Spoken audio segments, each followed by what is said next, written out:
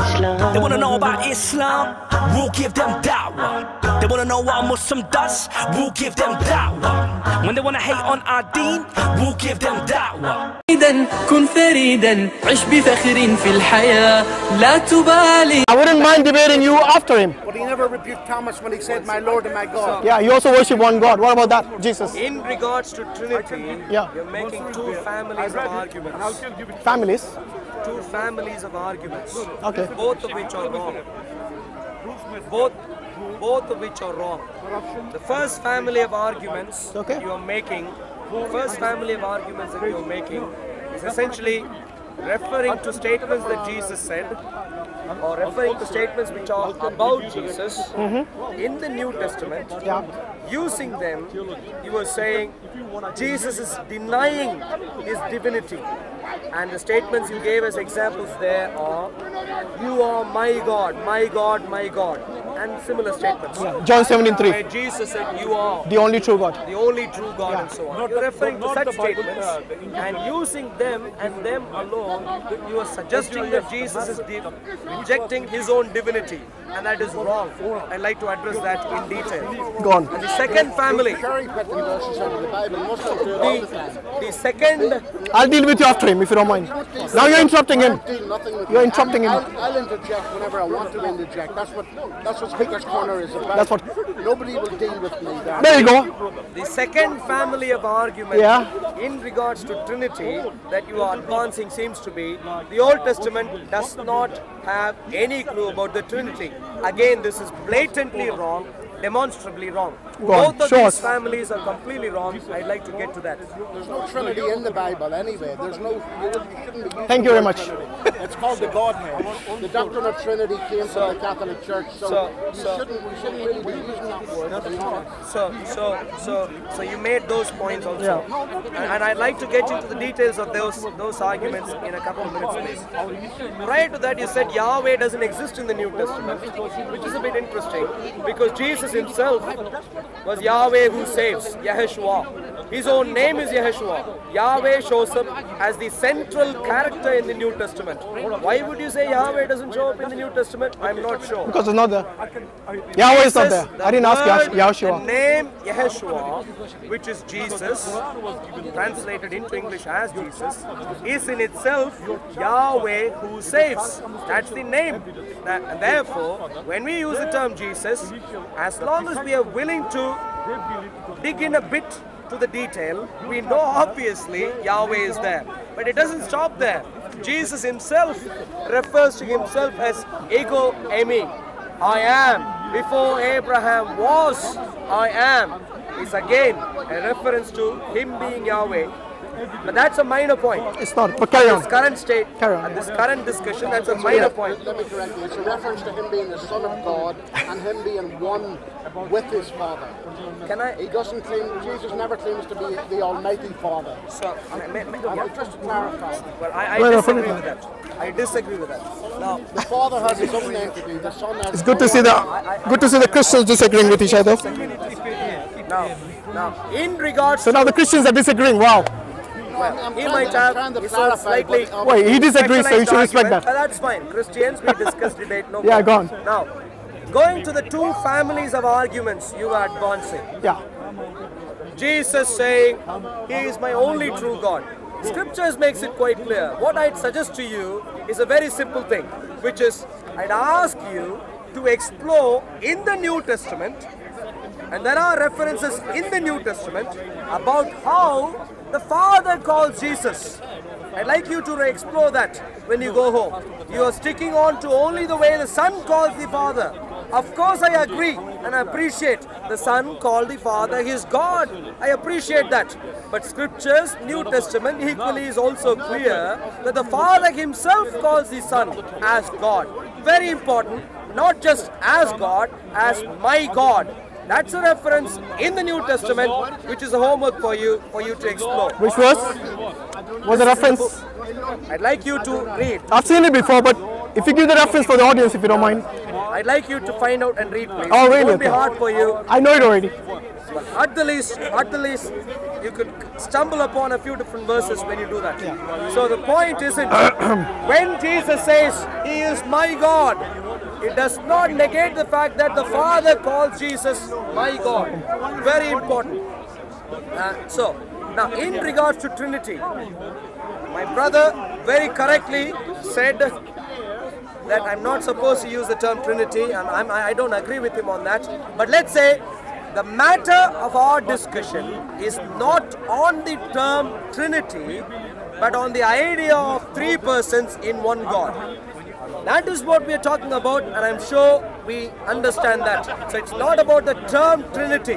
Of course, Trinity and anything else which we are quoting right now is in English. Of course, we're talking about New Testament, which was written in Greek, and most likely was communicated in Greek, Hebrew, Aramaic, and so The term which So, God used. coming, sorry, coming. I just want to to that. the term which God used. I'm no expert when it comes to Hebrew, but the term which God used when He said, "Let us make man in our image," it was a, a, some, a I think it's called a pluralistic masculine term. It's a God says God was talking to somebody. He said, "Let let us." Make man in our image. So there was somebody there with God. Let let us do it together. Sir, if you don't know Hebrew, I suggest you don't Wait, wait, mention wait, that because they will laugh at you. Wait, wait. I know the grammar of that what you just quoted as a we. No, no one would laugh at the point fact he of the matter His is point that- is very that valid. it- it's a- No, no, if you if you don't know something, it's best not to speak about it. You said I'm- you I'm don't know gonna- I'm not Hebrew gonna- and uh, you- mentioned you something. No, that's a pronunciation. But you're doing the same That's thing. fine. The irony so- of it, you're can quoting we- from the can New we- Testament, one but you're cherry picking. Why the are you all New triggered? Testament. Calm down. You One think you know Christianity, Why are you triggered? You don't So, know nothing about why are you two triggered? Calm families of down. arguments. I'll take me you on next, with don't You believe this portion, but you don't believe what Jesus said. He's the Son of God. It's to expose you guys. That's that's hypocrisy. No wonder you're triggered. That's cherry picking. No wonder you're triggered. Two families Go on, of arguments. If the first family of argument, which I'd like to You know, this is Sorry, go ahead. Two families of arguments. The first family is Jesus in the New Testament. There are multiple very important points which we haven't spoken about so far in Hyde Park, as far as I know, which make the point that Jesus is claiming equality with the Father blatantly, demonstrably clear, Well, speak then. especially in the eyes of the first century Jews. Now is your I'd like to just give it. two examples Go for them, just two examples. Okay. There are plenty more which I reserve for a very dedicated conversation about Trinity itself. For later, just two as a flavor. Point number one. When on the day of the final judicial process, when Pontius, when the chief priest asked Jesus, asked Jesus to tell plainly, and he said this, Ashim, he said, he said this to Jesus. He said, Tell us plainly, are you the Christ, the Son of the living God? That was the confession the high priest, the first century religious leader, wanted Jesus to make, if that if that was true. Jesus said, Yes, it is as you say. The moment he mentioned that, unlike a 21st century Muslim, unlike a 21st century Muslim, or a Jew. the high priest did not, maybe a Jew, the high priest did not go around saying, oh, let's leave him alone. He is merely claiming to be a son. We know even Adam was a son, so no problem at all. That's not what the first century Jewish, religious, top notch high priest said. He rather said blasphemy. In other words, very, very unlike the interpretation of people like you and many other Muslims and Jews, some of them at least, in the 21st century, the first century high priest has a completely different interpretation of Jesus' claim that he was the Son of the living God. According to the first century Jew, that is claiming equality with the Father. Very blatant, very demonstrable. I don't want you to nod your head anywhere around there. I don't John like- 7 and 3. I don't want your opinions on this. I'd like to rely upon the first century Jewish top-notch religious leaders comment on this. Carry on. And this is precisely why the Bible says Jews at few different points in time when Jesus referred to the one in heaven as his father immediately did not say oh he is just claiming to be a son we know Adam was a son. We know David was a son. And therefore no problem. That's not what they said. They immediately picked up stones to stone him to death. That's just one flavor for Jesus blatantly claiming equality with the Father in the eyes not of you. I don't care what you think. I didn't say I don't care. No, I'm not saying you said something. I'm just telling you, I don't care what your opinions are Yeah. about this. I'm go- just going back to what the Jesus first said. century Jewish John 7 and three. religious interpretation of that particular statement. That's point number one.